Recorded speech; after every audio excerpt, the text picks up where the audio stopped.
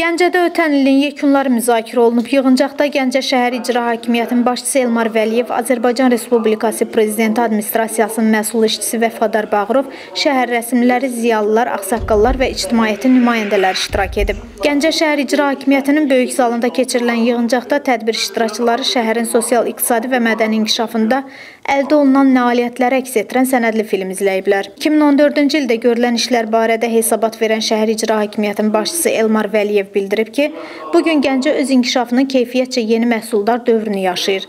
Əldə olunan bütün uğurların əsasında Prezident İlham Əliyevin şəhərimizə xüsusi diqqət və qayğısı onun reallığa söykənən düşünülmüş sosial-iqtisadi siyasəti dayanır.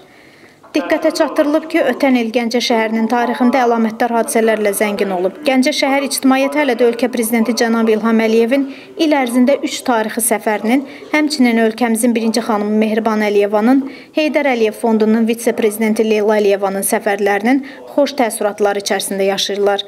Ölkə başçısının hər səfərdə olduğu kimi bu səfərləri çərçivəsində də mühüm sosial-iqtisadi və mədəni obyektlərin təməl qoyma və açılış mərasimləri keçirilib.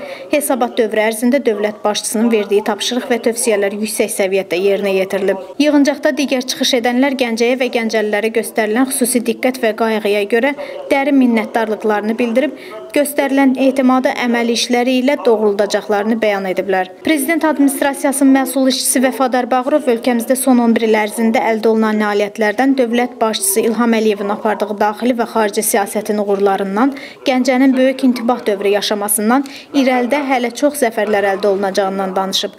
Daha sonra yığıncağın qərar layihəsi qəbul edilib. Azərbaycan Respublikasının Prezidenti İlham Əliyev və tədbir iştirakçıları tərəfindən müraciət oxunub. Səbiyyə Əliyeva, İlham Məmmədzadə, Nazir Quliyev, Səs TV Gəncə.